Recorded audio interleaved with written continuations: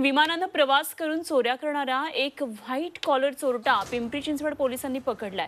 चरणप्रीत सिंग असं त्याचं नाव आहे आणि हा चोर पंजाब राज्यात जाऊन इनोव्हा फॉर्च्युनर फोक्सवॅगन अशा अलिशान गाड्या चोरायचा. नंतर या गाड्यांचा चॅसे नंबर बदलून त्या महाराष्ट्रामध्ये आणून विकायचा आणि त्याच्या या कृत्याची माहिती पिंपरी चिंचवड पोलिसांना मिळाली. त्यानंतर त्याला सीसीटीव्ही फुटेजच्या आधारे अटक करण्यात आली आहे. पोलिसांनी त्याच्याकडून दोन कोटी एकोणीस लाख रुपयांच्या महागड्या गाड्या आणि इंजिन हस्तगत केलंय. चनप्रीत सिंग हा पंजाबमधून चोरीच्या मोटारी आणण्यासाठी विमानानं जायचा बाय रोड या गाड्या बनावट कागदपत्रांच्या सहाय्यानं तो विकायचा. मेन जो गाड़ियाँ चोरी करता था ये सब नॉर्थ इंडिया से गाड़ी चोरी करके लाता था और इधर इंश्योरेंस नंबर बदल चेसिस नंबर वगैरह बदल के इधर गाड़ी बेचता था।